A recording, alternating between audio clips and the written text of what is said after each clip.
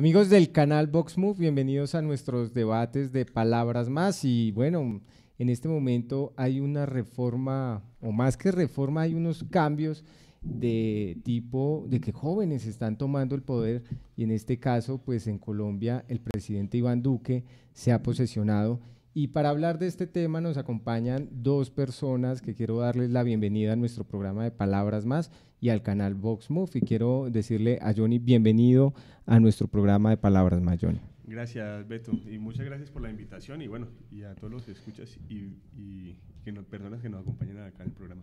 Bueno, y Juan Pablo Echeverri, bienvenido a los micrófonos de Palabras Más y del canal Vox Move. Muchísimas gracias por la invitación. Aquí estaré siempre que, que ustedes dispongan y un saludo a todos los que nos escuchan.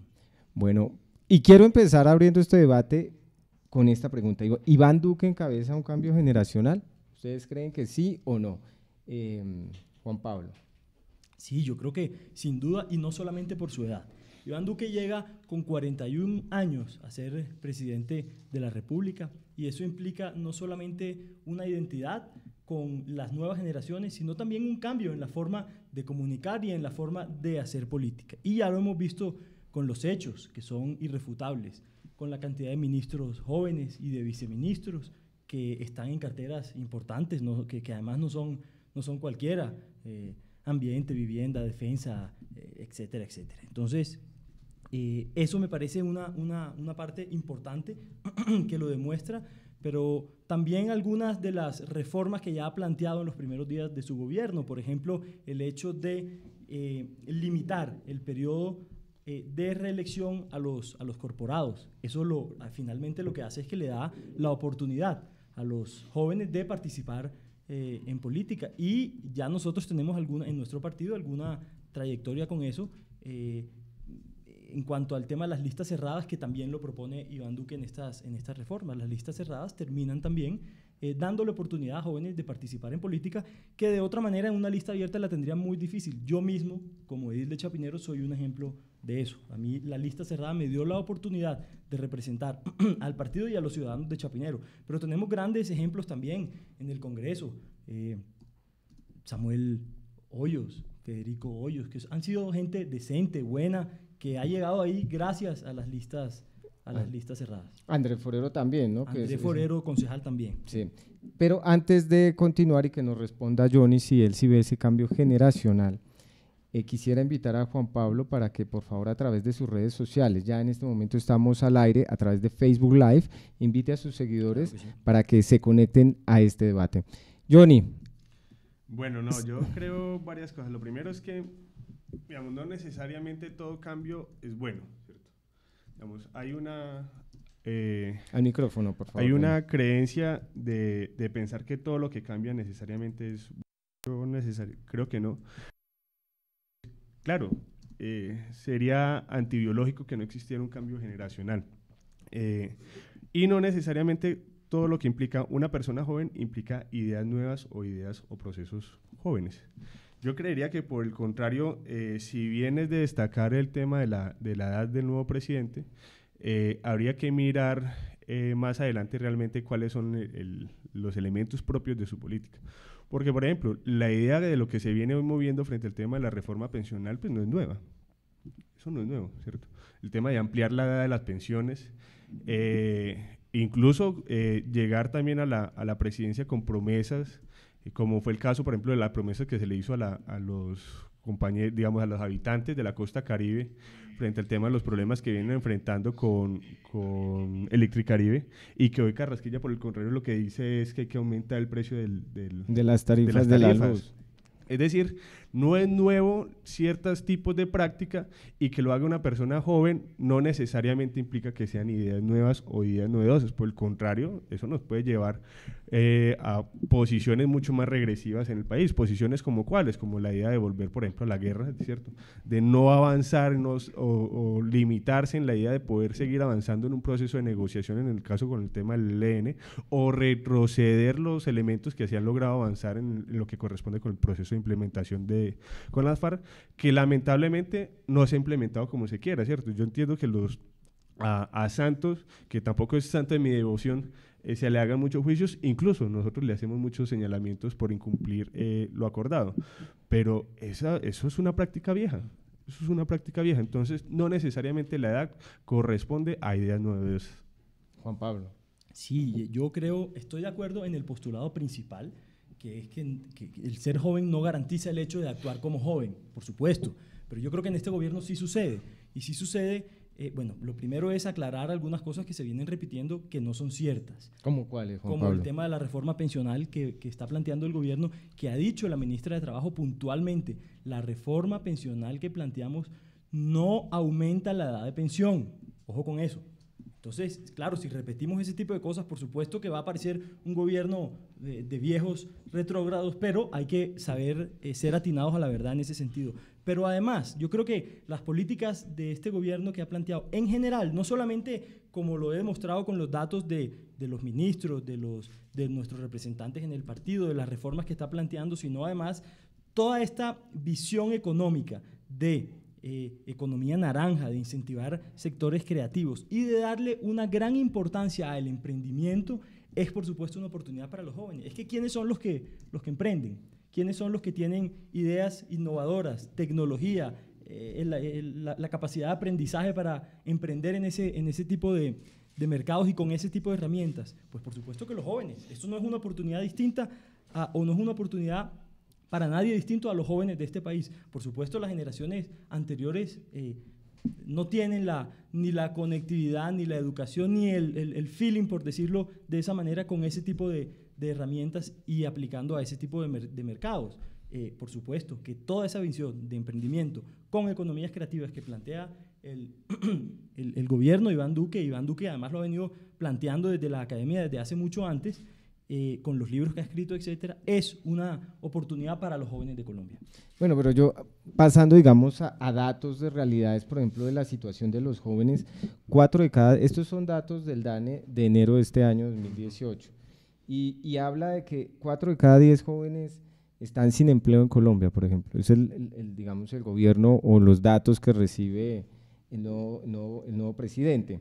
Eh, el, 42% de la población joven está económicamente inactiva. Eh, bueno, eh, ahí este dato es de la Universidad Libre, dice que 3.500.000 jóvenes están desempleados. Eh, más o menos se tardan de 5 a 7 meses en conseguir un empleo el que tiene suerte.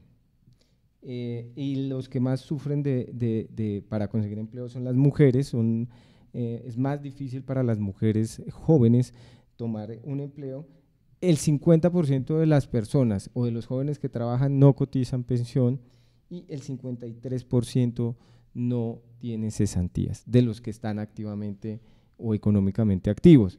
Entonces, es una realidad y cuál es el panorama que entonces le espera a los jóvenes teniendo estas realidades y teniendo, por ejemplo, usted hablaba de la economía naranja, pero realmente en qué se va a ver realmente, em, digamos, con este gobierno usted dice, los jóvenes son los que más emprenden, pero pues realmente eh, acá hay unas estadísticas de otro tipo de jóvenes que realmente es preocupante.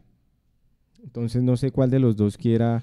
Eh, mira, hay, creo que hay una cosa que, hay elementos y sobre todo digamos este fenómeno de la, del el nivel de marginalidad que viven los jóvenes eh, es, una, es un problema estructural del país. Por un lado, eh, efectivamente, las mujeres son doblemente explotadas en el caso de, su condición y me atrevería a que son triplemente explotadas por la situación de ser mujer y ser joven en el país. Eh, porque no solamente el hecho de que puedan, puedan acceder al trabajo, pero cuando consiguen trabajo, hay que decir, ah, por el hecho de ser joven se le paga menos. Es más, no hay una forma de regular el contrato, el contrato de un joven. Si, si acá se le quiere pagar menos, pues se le paga menos. Eso, eso no es ningún problema. Incluso, si miramos las condiciones, por ejemplo, de los jóvenes del SENA alrededor del tema del contrato de aprendizaje, esos jóvenes tienen que ir a colocar su fuerza de trabajo, en la gran mayoría de los casos gratis, para que se les pueda, eh, se les pueda dar, eh, eh, se les pueda otorgar experiencia pero hay que decirlo, pero es que este, la fuerza de trabajo genera riqueza. Y la riqueza, pues entonces la está acumulando el dueño, en este caso de la empresa o, de la corporación y demás, pero y a estos jóvenes no se les remunera absolutamente con nada. Es decir, creería que realmente si nosotros quisiéramos hablar de, de, la condición del joven hoy en el país, tendríamos que partir, uno, de poder analizar dónde están los mayores niveles de vulnerabilidad y de... Pero usted cree, por ejemplo, que la economía naranja sí va a ayudar no, No, no, eso no, no cambia nada. E, eso es un disfraz, ¿cierto? Pero realmente Sí, uno puede decir, no, el emprendimiento, pero son acciones muy individuales que realmente no logran resolver problemas del orden estructural en el, en el caso del país. Porque en el caso del país nosotros tendríamos que realmente, si quisiéramos eh, llegar a, un nivel económico, es más, un nivel económico dentro del sistema capitalista, ni, no estoy diciendo ni el socialismo, ni el comunismo, ni, ni tanto esto que se habla del castrochavismo, ¿cierto? El famoso fantasma que han construido para que ronde Colombia. No, el problema es que incluso tendríamos que hacer grandes inversiones del orden de capital y eso es traer industria, eso es traer empresa. Eso no es cualquier persona vendiendo manillas porque solamente la familia, los hijos de Uribe son los únicos que enriquecen vendiendo manillas. El resto de la población colombiana no va a hacer eso. ¿O qué pasa con las personas que venden manillas en la, en la 19? ¿Será que son ricos? No, eso es mentira, ¿cierto? Eso es venderle ilusiones falsas a los jóvenes cuando realmente lo que necesitamos es una inversión muy grande, ahí sí, de capital que pueda permitir que en el país pueda existir trabajo. Pero eso es llamar industria, eso es no tercerizar. El problema es que acá en el país lo que tenemos es un gran proceso de tercerización de la contratación. Y la ganancia se va quedando en los dueños, digamos, de, de las empresas y realmente los beneficios no llegan ni siquiera a los, en este caso, digamos, a las personas que compran los, los servicios o adquieren los servicios. Y terminan siendo los jóvenes subcontratados para poder facilitar que otras personas puedan alimentarse el trabajo de, de estos jóvenes. Entonces yo creería que realmente tendríamos que hacer un gran esfuerzo en el país, no solamente en términos del orden educativo, sino poder, por ejemplo, llegar a las regiones más apartadas en el, en el país. Mire, es terrible que, joven, que en el caso del Pacífico la, ilusión de la mayoría de los jóvenes sea ser deportista. Y no digo con esto que el problema sea el deporte. El problema es que en términos reales no hay otras opciones para el desarrollo de, esa población. ¿O por qué fue el paro de Buenaventura el año pasado? porque hay dificultades de inversión social en, esas, eh, eh, en esos territorios, o lo, lo que ocurre con Tumaco. Claro, entonces se le, juzga sobre todo a los jóvenes porque terminan siendo raspachinos de recolectores de coca, pero es que en esas poblaciones no hay nada. ¿O cómo puedes acceder a un cine en el Oasis, eh, que, es un, que es un corregimiento de Arauquita? No hay posibilidad. Eso no hay posibilidad. Si no se hace una inversión fuerte realmente en estos territorios, pues hombre, seguir hablando de juventud seguirá, seguirá siendo una gran idea. podremos hablar de economía naranja, podremos hablar de economía verde. Podremos tener un presidente joven. Podemos tener un presidente joven, pero lo real no va a haber cambios estructurales en el país. Es ahí donde realmente tendríamos que hacer los esfuerzos en general. De resto, son me podría decir yo, y, puede sonar de pronto un poco eh, despectivo, podemos tener las personas más jóvenes, incluso más capacitadas en cualquier ministerio. Pero cuando no se trabajan y no se atacan los problemas reales estructurales de la población, pues eso pasa a un segundo plano y simplemente es una imagen. Juan Pablo. Sí, bueno, varias cositas para sí, por supuesto. Que me, que me den mi tiempo porque yo no creo que sea un engaño para los jóvenes ni mucho menos. Yo sí creo que el presidente Duque ha planteado y nuestro partido un paquete de reformas serias, estructurales, para mejorar la condición de los jóvenes. Estamos de acuerdo en que la condición de los jóvenes, laboral, económica, etcétera, en este momento es un desastre y además duele mucho porque si uno hace el promedio de edad de Colombia, pues Colombia termina siendo un país muy joven. En este momento está, si uno hace el promedio, alrededor de los 24, 25 años y eso, por supuesto, indica que hay que hacer un gran esfuerzo eh, en ese sentido. Eh, hay un, un gran círculo vicioso en que los jóvenes que logran prepararse salen al mercado laboral y no encuentran eh, empleo porque no tienen la experiencia, pero si nadie se los da, pues nunca la van a tener. Ese gran círculo vicioso, el, el, presidente Duque ha planteado en la campaña y ahora como presidente, entre otras cosas, la idea de que el joven, una vez salga del, del, bachillerato, salga al mismo tiempo con un diploma eh, técnico o tecnológico, para que así tenga más herramientas para acceder al mercado laboral. Eso es un tema que por supuesto, una, parte de una solución eh, estructural que rompe ese círculo vicioso e intenta convertirlo en un círculo virtuoso. Eso no lo podemos dejar de lado. Y aquí no solamente hablar de economía naranja como un, cosa, como un tema de moda o, o algo bonito, no, aquí se han planteado cosas serias como por ejemplo, el Instituto Colombiano de la Juventud y el, y el, Deporte, que materializa que la recreación y el deporte son temas de interés y espacio de crecimiento para los jóvenes. Pero también se habló y se planteó eh, ya como, como gobierno eh, el tema de los centros, eh, de los centros culturales y deportivos de acceso gratuito en todos, los, en todos los barrios y se habló puntualmente de la cifra de 1.400 centros. Sacúdete. No sé si escucharon ese nombre en la campaña los que estuvieron atentos y si no, pues se los, se los cuento. Esos centros eh, Sacúdete, que son centros precisamente para la economía naranja, para la innovación ligada al emprendimiento y sobre todo al mercado laboral, que no es solamente eh, hablarlo porque, porque sea bonito, no, es preparar a los jóvenes, conectarlos y por supuesto darles las herramientas para que salgan al mercado laboral. Y eso, eso con algo que también se ha planteado y es eh, la multiplicación, la, la, inyección, la energización que hay que darle a los, a los fondos emprender, para que los jóvenes puedan emprender. Y es que eh, no es que se vayan a volver ricos haciendo manillas, qué pena, pero el chiste es malo. Es malo en el sentido en el que eh, la economía naranja no es solo manillas, es aprovechar toda la capacidad artística, cultural, tecnológica que hay en los jóvenes y en el mundo para poder hacer riqueza con eso. Entonces, eh, por un lado, la contraparte nos dice, no, es que generar empresas no sirve para nada, pero después nos dice que hay que tener muchas más empresas para tener empleo. No, por supuesto, por supuesto, las empresas dan empleo, pero quisiéramos tener no solamente un país de empleadores, no, quisiéramos tener no solamente un país de empleados, sino también un país de empleadores. Y hay muchas formas de hacer riqueza. La riqueza, nosotros nos tenemos que quitar la idea de que la riqueza está ahí como una torta que hay que repartirla simplemente y que hay unos que tienen mucho y otros que tienen muy poco y entonces hay que quitarle a los que tienen mucho para darle a los que tienen muy poco. Eso no es así. La riqueza no existe, la riqueza se crea y se crea por, medio, se crea por medio de todos estos métodos e iniciativas que por supuesto implican trabajo, pero hoy en día también implican tecnología, conocimiento, no solamente no solamente eh, trabajo.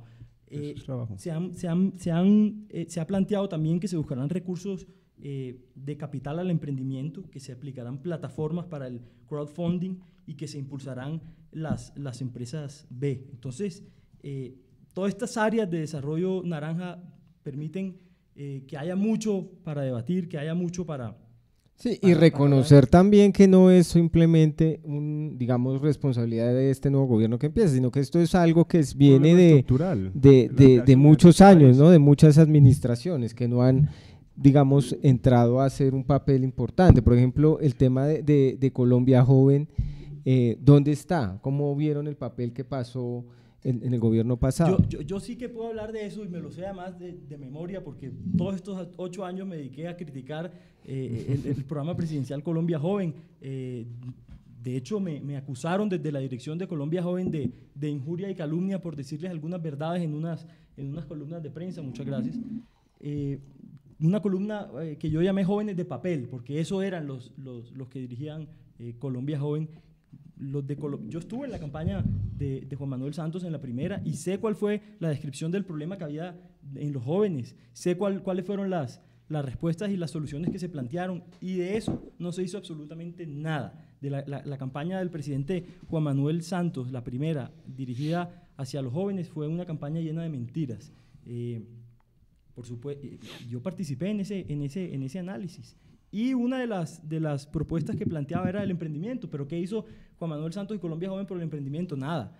Ahí eh, pues se hacían, eh, con una plata se hacían unos conciertos y unas actividades que yo no sé qué tenían que ver con los problemas reales de los jóvenes en el, en el país, absolutamente nada. El desempleo siguió creciendo profundamente. Eh, Pero ¿hasta dónde tiene realmente herramientas Colombia Joven para hacer algo como eso? Seguro que no, seguro que no, pero es que el presidente Juan Manuel Santos planteó en la campaña propuestas para crear unas reformas y darle las herramientas a ese programa presidencial Colombia Joven. Se gastaron un montón de plata y no hicieron absolutamente nada. Da mucha tristeza que sigan engañando así a los jóvenes. Y eso, por supuesto, que es una responsabilidad de ellos, pero también es una responsabilidad histórica que tenemos todos. Esto no es un tema de izquierda o derecha, es una responsabilidad histórica que tenemos todos como generación de ver qué vamos a hacer con nuestros jóvenes. No es posible que el desempleo en los jóvenes sea el mayor de todos los desempleos y que, y, que al mismo tiempo Colombia sea eh, el país más joven de Latinoamérica si hacemos el promedio de, su, de la edad de sus, de sus habitantes. Por supuesto que, que algo hay que hacer y ellos no hicieron absolutamente nada. eh, dijeron que iban a iban a hacer un, me acuerdo, para ponerles un solo ejemplo, en la campaña, un pasaporte joven. Dijo Juan Manuel Santos en, su discurso, además de, de, cierre de campaña, me acuerdo, que mm, ese pasaporte joven iba a ser el paso de la juventud hacia el acceso a todas las facilidades que los jóvenes tenían en el mundo, eh, descuentos en el transporte público para que pudieran ir a, estudiar, eh, etcétera, más fácil, eh, descuento en las, en las universidades, un montón de cosas y eso terminó siendo simplemente un bono de descuento para unas marcas comerciales. Eso da tristeza y da pena ajena. Yo creo que los jóvenes en este país se merecen que hagamos mucho más y además yo, yo, yo hago el llamado a, que le den la oportunidad a este gobierno, a que, a que le den la oportunidad de creer que sí hay gente seria aquí que está intentando apostarle a la juventud y que no es solamente un tema de titulares como en el gobierno anterior. Yo, mire, varias cosas. Lo primero es que eh, efectivamente es una deuda histórica. Eh, no solamente del gobierno de Santos, del gobierno de Duque, del gobierno de Pastrana, del de Samper, X, X. De, ahí de acá si, histórica no puede ser de Duque que lleva cinco días. sí, total. Entonces, pero el problema, el problema real es que eh, en el país hay una serie de inversiones atrasadas que desde la Constitución del 91 tenían que haberse dado y no se han dado.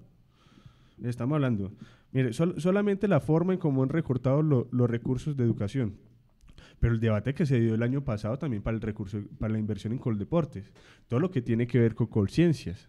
Es decir, los pequeños institutos que tenemos en el país que medianamente funcionan, ¿cierto? Lo que hacemos es recortarle presupuesto y ese presupuesto, pues, hombre, si esas instituciones no tienen presupuesto no pueden hacer absolutamente nada.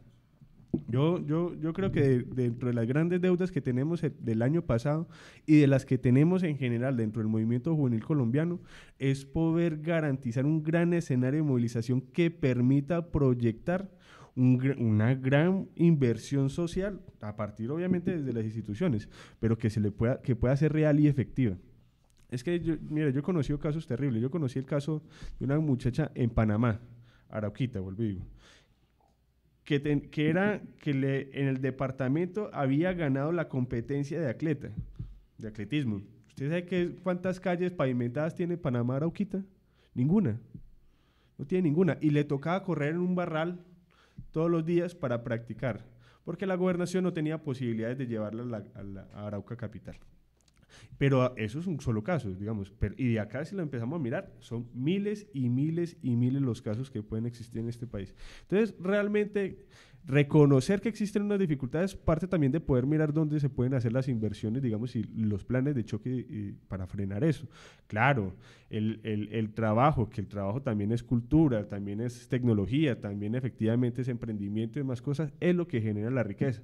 Creo que la, la idea de que lo colocamos, de que se le coloque simplemente como economía naranja es simplemente ubicar que eso es, es importante. Pero eso es muy importante para cualquier nación. Si no existe cultura, no puede haber tampoco de desarrollo de ninguna índole en ningún país. Y ya estamos inmersos en la economía naranja. Sí, es, digamos, no es nuevo, ¿cierto? Es más, las cifras, la, si, cifras, si tú miras en, en, portafolio, si no me equivoco, en el 2015 sacaba también ya eh, notas importantes sobre cómo la economía naranja había desarrollado medianamente elementos importantes en el país. Pero no podemos solamente quedarnos ahí, ¿cierto? No podemos quedarnos solamente ahí. Si, e, si ese es el punto solamente para hacer esfuerzos, pues vamos a descuidar también otros factores que son importantes para desarrollar la, la, la economía del país y que nadie está exento. Y, y en esto no, no, nos podemos llamar a engaños. A nivel mundial hay una crisis frente al tema de la tasa de ganancia y esa tasa pues hay que mirar, todo el mundo está mirando a ver cómo, cómo eh, favorece, digamos, los niveles de, de crecimiento de la economía. Pero también habría que hacer una cosa, y es cuál es el papel entonces de los jóvenes en, ese, en, ese, en ese caso. ¿El papel de los jóvenes es simplemente resolver la crisis?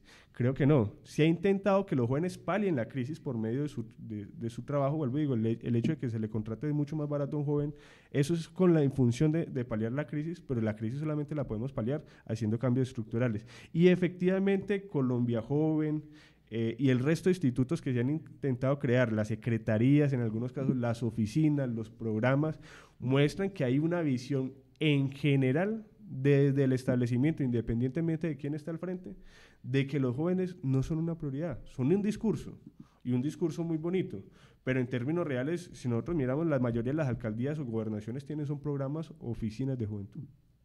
Y eso no tiene posibilidades de, mover recursos. Claro, tú puedes hablar muy bonito, pero si tú no puedes hacer algo con esos recursos, no tienes posibilidades materiales para desarrollar lo que dices, pues no puedes hacer nada. Te toca ir de cartera en cartera pidiendo el favor de que te hagan una asignación presupuestal de unas sillas, que te presten un auditorio, esto y lo otro. Yo creo que nosotros tendríamos que abrir una gran discusión hoy, uno, sobre el Estatuto de Ciudadanía Juvenil. ¿Qué significa ser joven en Colombia? Por un lado. Pero por el otro, porque no puede ser simplemente como se ha, se ha querido eh, acabar la discusión de que es hasta los 28 años y listo. Y chao. Y ya. Pero yo conozco jóvenes que tienen menos de 28 años y no se identifican como jóvenes. ¿Por qué pasa eso? Porque su condición cotidiana, sus relaciones sociales, sus relaciones sociales de, económicas, lo llevan a no identificarse. Mire, son personas que a los 19, 20 años ya tienen familia. Claro, ya tienen responsabilidad. Ya tienen otro nivel de responsabilidad. Entonces, si eso pasa a los 20 años, eso también pasa a veces a los 28 años. Entonces, si no tenemos una categoría de análisis correcta, pues las, las, propuestas van a ser equivocadas. Lo segundo es mirar realmente qué es lo fundamental hoy para el tema de los jóvenes. Varias cosas. Uno, el tema del acceso a la educación. Eso es lo crucial. Pero dos, efectivamente, que después de que puedas salir de, educarte, pues puedas salir a trabajar. Y ahí es donde creo que tenemos que resolver los problemas. Porque la mayoría de nuestros jóvenes están yendo o del país, por un lado, pero por el otro, cuando termina su nivel de maestría o de especialización, es mucho más difícil conseguir trabajo. Es más, si tú quieres acceder a la carrera, eh, a la carrera pública y administrativa, a veces es mejor ni siquiera ingresar con el título, concursar sin el título de administrador público. O también se puede hacer otro tipo de carrera sin tener que tener maestrías y esas cosas. Es decir, ¿cómo, ¿cómo darle una visión al joven que no sea el joven punitivo, ¿cierto? Al joven criminal, al joven, al joven que, todo, que, que es malo, el joven que huele feo porque tiene el cabello largo. No, yo creo que esa visión hay que cambiarla. Si no tenemos una visión mucho más integral del joven, va a ser muy difícil realmente darle posibilidades y oportunidades a, a los jóvenes. Y lo otro es sobre todo reconocer sus las capacidades que se tiene como ser joven de articularse. El gran problema del orden institucional incluso me atrevo a decir dentro del Estatuto de Ciudadanía Juvenil y la ley que existía antes, era que se le impone a los jóvenes una forma de organización que los jóvenes no tienen. Mire, los consejos municipales y departamentales de juventud no funcionaron antes y creo que no van a funcionar después. Por una razón, porque esa no es la forma en cómo se organizan los jóvenes. ¿Por qué funcionan las plataformas? Porque es más horizontal. Bueno, y por ejemplo, entonces, en, e, en ese sentido de lo que habla Johnny, Colombia Joven, ¿cómo debería, estar debería organizarse? ¿De qué manera, Johnny y, Juan Pablo? Colombia Joven no debería organizarse, Colombia Joven debería, acabarse. ¿Debería acabarse? ¿Usted cree que en Si a este mí me nombran director de Colombia Joven hoy, hago un solo, una sola resolución, acabando el programa y se lo devuelvo al presidente Duque. Eso no sirve para nada. No sirve para, tampoco usted que evaluación yo no le, daría nada al presidente Duque. Pero, pero si usted pero estuviera... yo creo que el problema no es, vuelvo a insisto, el problema no es de, de, la, de la, forma de, de, la, digamos, de Colombia joven. Eh, creo que realmente hoy como está constituido cualquier programa no puede hacer absolutamente nada. Pero tampoco se trata de acabarlo, ¿cierto? Digamos, acabar lo que hay o que deje de existir. No, yo creo que hay que ubicar cuál es la alternativa. Yo creo que la posibilidad de la alternativa es, uno, la construcción de un viceministerio de juventud que tengan la capacidad real de gestionar, de tener recursos y de movilizarse con unos puntos concretos, digamos, en función del tema de la juventud, ubicar prioridades. Pero dos, que tenga la capacidad de tener un diálogo abierto, independientemente de si se es castrochavista o no, con el resto de organizaciones juveniles que realmente tienen una capacidad de impacto en lo territorial, en, eh, en, lo territorial, que es ahí donde realmente se mueven los jóvenes, porque es que es muy fácil desde, desde, las, desde la, una posición punitiva a veces señalar al joven como criminal, pero ¿por qué no buscamos la forma, digamos, para a esos jóvenes marginados darle la posibilidad de que no entren a la, a la, a la ilegalidad? Y a la ilegalidad me refiero a grupos paramilitares, a criminales, bueno, a todo aquello que, que ronda, digamos, en la, en, la, en la oscuridad de los barrios, que es donde nosotros tenemos que ubicar el punto crucial para que esos jóvenes tengan oportunidades. Pues el, presidente Duque hablaba de un pacto con Colombia. ¿Usted cree que, por ejemplo, eh, Juan Pablo sí se puede dar eso que plantea Johnny es tener todas las organizaciones, bueno, la mayoría de organizaciones juveniles, por decirlo de alguna manera, trabajando en pro de la de, pues de esta población? Sí, sin duda. Y aquí rescato el presidente, el discurso del presidente Duque que explica que que, tenemos que pasar la página de ese discurso anacrónico entre izquierda y derecha, sobre todo si hablamos del tema de jóvenes. Ser joven no tiene nada que ver con ser de derecha o con ser de izquierda. Ser joven, ser joven es una realidad que tenemos que afrontar en el país y ahí sí, como dice el presidente Duque, tú lo acabas de mencionar, hacer un gran pacto por Colombia. Yo quiero hacer un, un apunte y es que yo no creo que la solución para los jóvenes sea crear más burocracia. Por eso dije en forma chistosa y breve que si a mí me dan la dirección de Colombia Joven, yo simplemente cierro el programa y lo devuelvo el día siguiente porque me parece que no sirve para nada. Pero tampoco creo que la solución sea crear otro ministerio o viceministerio que simplemente genera mucha más burocracia, pero que en el fondo no soluciona ningún problema. Aquí lo que necesita, se necesita es hacer un gran esfuerzo por entender primero la problemática de los jóvenes en el país. Y es que venimos de gobiernos que no la han entendido estos gobiernos de Juan Manuel Santos no han tenido en cuenta, no, saben qué es eh, ser joven. Han, planteado, han planteado unas reformas totalmente ajenas a la condición y a las necesidades de los, de los jóvenes en el país. Entonces, yo creo que lo primero es entender ese problema para poder hacer ese gran pacto por Colombia que incluya, que tenga como prioridad el, desarrollo de los jóvenes, su capacidad para educarse, las posibilidades de, emprender y de tener eh, fondos que le permitan emprender, pero con conocimiento al mismo tiempo, etcétera, etcétera. Pero, pero yo creo que es un tema de voluntad política, que este gobierno la tiene, que yo a todos los que nos escuchan les pido que, que le den la oportunidad a un gobierno que tiene esa voluntad política, porque es un gobierno que viene de eso, lleno de jóvenes, con esas mismas ganas, con esas mismas ilusiones que nos identifican a todos los jóvenes. Hay un cambio generacional que no puede ser solamente eh, un cambio en la forma, sino que debe ser también un cambio en el fondo. Entonces yo no creo que la solución sea mucha más burocracia. Claro, eh, eh, es chévere decir que es que si se crea un, tal instituto, póngale cualquier nombre, eso va a ayudar a los jóvenes. No, no necesariamente los, la, el crecimiento del, del, del, Estado soluciona los problemas de la población. Eso normalmente es lo contrario. Entre el Estado más grande sea pues más se pierde la plata, más burocracia hay, eh, más se la roban y más ineficiente se vuelve. Yo no soy amigo de, de, crear más y más y más corporaciones del Estado, sino de ver cuáles son los problemas puntuales de los jóvenes para así poder eh, solucionarlos con toda la, la, capacidad administrativa que ya tiene el Estado. Pero usted cree que Iván ¿qué va a pasar en esta administración con, con Colombia Joven, digamos Iván Duque? No, ¿Qué van a hacer con No, más allá, más allá de eso, digamos, yo no, no vengo aquí en representación del gobierno no, pero a decir qué, va no, no, ¿qué piensa usted lo que, yo he dicho, Lo que yo he dicho que, se, que yo lo cerraría es un tema que lo digo yo, no el gobierno de, de, Iván Exacto, es su opinión, sí. Yo sí creo que, ese, que seguramente eso, eso irá a continuar. Ojalá esté muy ligado a esos temas de emprendimiento. Ojalá sea un programa que ayude a facilitar, a coordinar todas estas, este programa de ideas que hay dirigidas hacia los jóvenes para concertarlas eh, en una misma institución que ya existe. Digamos que lo que sí ha dicho Iván Duque es que nosotros no podemos, todas las administraciones, estar creando o eliminando más agencias del Estado.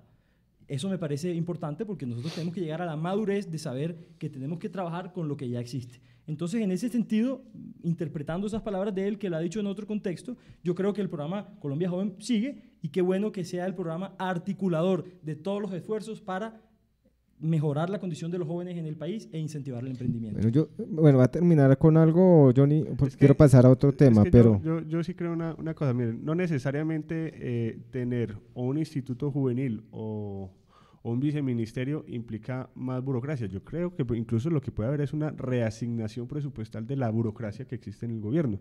Pues para eso está la consulta del, del 26 de, agosto, porque, por ejemplo, yo creo que se gasta mucho más burocracia en, senadores y en congresistas. Pero si nosotros, cuando decimos que todo el mundo se encarga de todo, a veces nadie se encarga de nada. A veces es bueno tener la capacidad de que alguien se pueda responsabilizar concretamente de algo.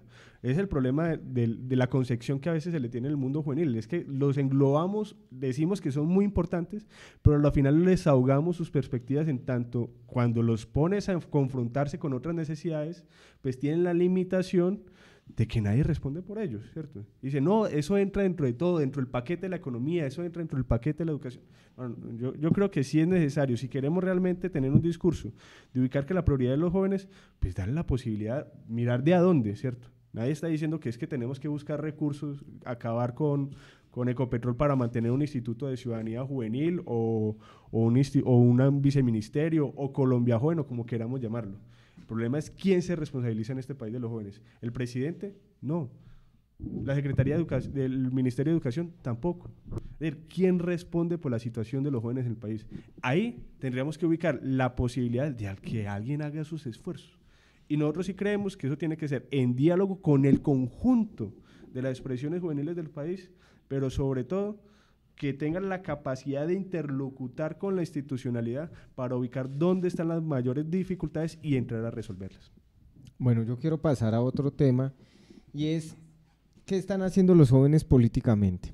Y yo hice la tarea, traté de hacerla juiciosamente, porque voy a tratar de mencionar los presidentes jóvenes, eh, jóvenes hasta los 50, menores de 50 años que han llegado al poder. Entonces está, por ejemplo, Rafael Correa, 44 años, que fue presidente de Ecuador, eh, de izquierda, por decirlo de alguna manera, Sebastián Kurz, no sé si lo pronuncie bien el apellido, 31 años de Austria, eh, es de derecha, eh, que es el, el, digamos, presidente más joven con 31 años. Está Pedro Sánchez, el, residente en España con 46 años, que es eh, socialista. Eh, Emmanuel Macron en, en, Francia con 39 años, que se cataloga de un centro independiente. Carlos Alvarado, de 38 años, de Costa Rica, socialdemócrata y progresista el eh, presidente de Canadá, Justin Pierre, de 46 años, de tendencia liberal, y e Iván Duque, hablo solamente de los que se eligen democráticamente, ¿no? Y hablo, eh, Iván Duque, eh, con 41 años, 42 años, de Colombia, del Centro Democrático de derecha. Entonces, mi pregunta es la siguiente y es, ¿qué está pasando con la juventud en Colombia? ¿Se están involucrando en política? hablaba algo Em, Juan Pablo, que es cierto y es, digamos que uno ve esa renovación mucho en el centro democrático, mucho joven, mucho eh, joven llegando, digamos, a, diferentes instancias, que no pasa, digamos, en los partidos tradicionales, o bueno, quedan algunos, ¿no? Por ejemplo, los hijos de los hijos de los hijos, podemos verlo, por ejemplo, en el Partido Liberal, por decirlo de alguna manera, entonces está Horacio José, está después, perdón, Horacio Serpa, después Horacio José, después vendrá Horacio Junior. Y pasa todo este tipo de cosas. Entonces, mi pregunta es, ¿qué están haciendo los jóvenes en política? ¿Realmente le están apostando? Y bueno, esta es la muestra también, digamos, de que eh, apostarle eso que hizo el Centro Democrático eh, a las juventudes termina, eh, digamos, poniendo un presidente joven. Johnny. Yo creo, yo tengo una visión muy particular. Y lo primero que yo creo es que eh, hay cosas que a veces se han dicho que se han vuelto, digamos, como ideas fuerzas que realmente son falsas. Lo primero es de creer que los jóvenes son apolíticos. Lo primero es que hay que ampliar la visión de la política. Digamos, la política no es única y exclusivamente la posibilidad de participar, eh, sea bien que se elija o sea bien que se queme, en elecciones populares. reducir el campo de lo político y de la política única y exclusivamente a eso es quitarle la capacidad transformadora al ejercicio de la política. No, la política es todo aquel nivel de relacionamiento que implica hablar de lo público. Pero para poder hacer transformaciones hay que tener poder político. Por eso, de alguna manera. el poder no necesariamente es igual a gobierno o es igual a institucionalidad. No, es decir, no, es decir, decir que el presidente, no voy a hablar con, solamente de Duque, pero decir que el presidente eh, es, la es la que tiene la capacidad de transformar el país, que es el poder realmente que está detrás de todo el poder, eso es falso. A esto le, ahí detrás están corporaciones, hay personalidades, bueno, hay un sinnúmero, digamos, de intereses que realmente son los que ejercen el poder. El poder se ejerce. Es decir, el poder no es el anillo que nos han vendido en, en El Señor de los Anillos, ¿cierto? No es lo que se No, el poder es, una, es un ejercicio y es un ejercicio creativo que tiene la capacidad de transformar y hay comunidades que se han transformado sin incluso sin participación del orden institucional. Sí, pues, pues ejemplos hay porque se toman, digamos, eh, pero los jóvenes son, digamos, arman revoluciones, arman, arman una cantidad de cosas. Entonces, lo, lo primero es que los jóvenes sí participan políticamente, participan en distintas dimensiones del ejercicio de la política. Pero tercero, dentro de esas dimensiones del ejercicio de la política hay muchos campos, digamos, donde se vienen proponiendo temas nuevos. Mire, hoy hay, si, si, nosotros miramos, por ejemplo, los jóvenes están participando y generando muchas iniciativas del orden barrial y del orden territorial. Es más, una persona que nosotros conocemos que llama Albeiro hace parte de, de Aso, asocomunales, ¿cierto? Él viene proponiendo cosas desde los barrios y desde los territorios. Él se viene participando en política. Desde las organizaciones estudiantiles, que creo que son la muestra más fehaciente de que efectivamente los jóvenes participan en, política. Mire, un representante del Consejo Superior tiene de entrada, una vez al mes, sentado al gobernador, porque es delegado a, en, el Consejo Superior, al rector de la universidad, a vice, eh, rectores y demás, a, a representantes de facultad, y ejerce la política. Es decir, sí se viene ejerciendo.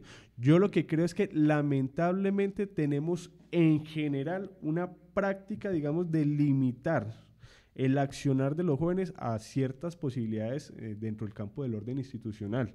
Es decir, eh, hay ese tema de las herencias políticas, de, la, de las casas, de, la, de, los, de los delfines y estas cosas, terminan por ahogando la posibilidad, digamos, de que un sinnúmero de jóvenes puedan, puedan participar en política del orden institucional y electoral. Pero que los jóvenes participan, participan. Mire, hoy dentro de los procesos más grandes que existen son los procesos del orden regional y territorial. La mayor debilidad que nosotros tenemos de construir un gran movimiento nacional juvenil es que hay pocas organizaciones del orden juvenil nacional pero en los territorios abundan. Por eso yo decía ahorita, ¿cómo reconocer la dinámica juvenil? y reconocer que parten de procesos horizontales, ¿cierto? No representativos y que hoy incluso las plataformas permiten recoger un escenario eh, muy importante para eso, sin decir que las plataformas sean la solución. Pero los jóvenes sí vienen participando en política. Entonces, lo que hay que hacer es darle la posibilidad de que puedan transformar. Mire, solamente lo que se viene generando allí en, que se venía generando alrededor de Pasa a la calle eso es un escenario del campo de la política. ¿Por qué no reconocerlo? Porque no tiene una banda, porque no es nombrado a partir de, un legislador o un ex legislador. No, son escenarios que hay que reconocer y si no reconocemos eso, no vamos a reconocer la capacidad transformadora que tienen los jóvenes. Juan Pablo. Sí, bueno, yo creo que para entrar en esta discusión, lo primero que deberíamos plantear es definirnos un poco qué es el poder y qué es la política, como para saber de qué estamos hablando, porque, porque si no sería demasiado, demasiado amplio. Una de las, de las definiciones que a mí más me gusta de, de poder dice que es la capacidad de uno hacer que el otro haga lo que uno quiere así no, él no esté de acuerdo. Eso es un acercamiento ya al poder. Y para acercarnos un poco a la política, yo creo que hay que decir que hay política en la medida en que hay toma de decisiones que afecten a más de dos personas. Entonces, lo primero que hay que hacerle, o lo primero que hay que mostrarle al país y a los jóvenes es que todo, absolutamente todo lo que regula su, condición de vida tiene que ver con, política. Eh, y póngase un ejemplo de un joven que sale todos los días a, ir a, estudiar, lo que paga por el transporte cuando, cuando va a estudiar o cuando va a hacer cualquier cosa tiene que ver con una decisión política, lo que paga por un servicio público tiene que ver con una decisión política. Eh, entonces, eh, por supuesto que todos estamos eh, eh, en la política. Eh, y hay esta, esta gran frase que el que no se preocupa por los, por los asuntos públicos, pues tiene la consecuencia de, ser gobernado por los que sí se preocupan. Y eso tiene que ser un llamado a los jóvenes a que se preocupen por lo que está pasando a su alrededor. Vean, la situación de, de Colombia en este sentido es que los jóvenes tienen más cercanía con la izquierda, eso hay que reconocerlo, a mí no me, da, no me da pena decirlo. Si uno ve nada más en las pasadas elecciones que hubo un gran número de jóvenes que participó, creció la participación de los jóvenes y eso es positivo, no importa por quién hayan votado, pero uno ve que se identificaban más seguramente con, con, con, el señor eh, Fajardo y con el señor eh, Petro, eso no, no, no, no hay que ocultarlo. Y hay que reconocer la capacidad organizativa que tiene la izquierda en sus organizaciones sociales y políticas para eh, mantener a los jóvenes. En las universidades se nota muchísimo. A nosotros nos cuesta mucho trabajo ir a las universidades y seguramente ustedes, ustedes lo saben, porque, porque hay esa, esa, esa, eh, ese, ese contacto más cercano con los jóvenes. Nosotros estamos en el reto de, primero, demostrar que ser joven, como ya lo he dicho varias veces, no tiene nada que ver con ser de derecha o de izquierda. Y sí, nuestro partido, por ser también un partido joven, pues le da cabida a muchos, a muchos jóvenes para que participen. Pero no solamente en cargos de, de, elección eh, popular, como sería el caso mío, o un par de casos de los que ya, de los que ya hablé anteriormente. Eh, la organización que tiene el Centro Democrático, por ejemplo, en Bogotá, en las universidades, con este grupo de, de universitarios que se llama UNICEF, es una cosa fenomenal. Digamos, es un grupo de, pelados comprometidos, trabajadores, que son, creo yo, que lo mejor que tiene el Centro Democrático y es la cara de mostrar de nuestro, de nuestro partido siempre. Pero eso no para ahí. Yo creo que este, este, este grupo de jóvenes que yo digo es la excepción a la regla, pero yo sí creo que muchos de los jóvenes que intentan participar en todos estos eh, mecanismos de, de, presión o sociales o políticos, terminan no siendo jóvenes de verdad, sino simplemente unos viejos chiquitos, porque los mecanismos los llevan a eso, porque no se identifican seguramente con el, con el ser joven y ahí estoy en, algo de acuerdo con mi, con mi contraparte. Eh, el reto está en generar mecanismos que no solamente son instituciones formales, sino que pueden ser eh, sociales, un poco menos, menos formales, para que los jóvenes empiecen a participar en la toma de decisiones de las cosas que los afectan a diario. Y estoy de acuerdo en que eso no tiene que ser solamente en el marco de las instituciones del Estado. Las instituciones sociales creadas sin formalidad muchas veces son más fuertes que lo que se puede hacer desde la organización del Estado y generan mucha más movilización, muchos más cambios. Eso lo ha sabido hacer muy bien la izquierda y yo creo que la derecha, si es que nos vamos a dividir en eso de derecha o izquierda, que a mí no me gusta, pero digamos que el espectro nuestro tiene el gran reto de medírsela a eso, de saber cómo funciona, de acercarse a los jóvenes y de, seguir eh, demostrando que, definitivamente eh, los jóvenes deben... Eh, hacer parte de las decisiones de lo público en un país en el que la mayoría de las personas son jóvenes. Bueno, yo quiero enviarles un saludo a todos los que se conectan, a Sebastián Munera, a Samuel Mojica, a Nicolás, a Hazael, em, y hacen una pregunta acá a, a, Johnny, y dice lo siguiente, bueno, acá dice, lo voy a leer textualmente, dice Juan Pablo, su contraparte, es decir, usted, Johnny, ¿cree en un Estado gigantesco y burocrático que anula libertades?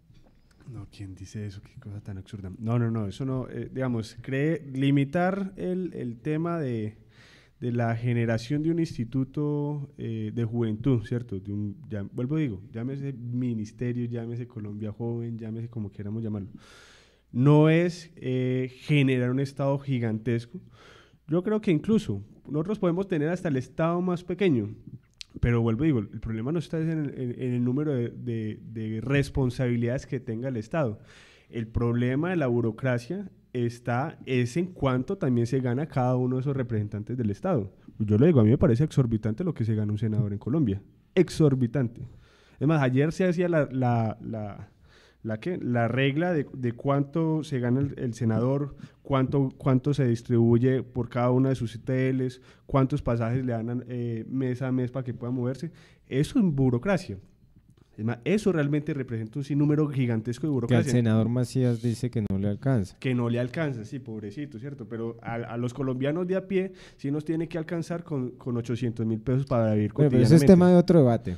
No, no, pero, pero el, punto, el punto al que voy es que... La rama legislativa es la que menos funcionarios tiene, eso también hay pero, que decirlo. Pero, pero mira, el, punto al que voy es que pensar en la responsabilidad, digamos, de, de personas que se dediquen a los jóvenes no necesariamente implica generar una visión, ¿cierto?, de que el Estado es un Estado burocrático. No, yo creo que hay cosas más burocráticas que eso, realmente. Es un problema de necesidad, porque si nadie responde por los jóvenes, entonces ¿quién responde por los jóvenes? ¿cierto? Cuando todo el mundo se encarga de todo, nadie se encarga de nada.